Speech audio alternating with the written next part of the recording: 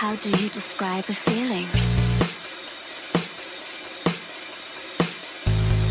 I've only ever dreamt of this.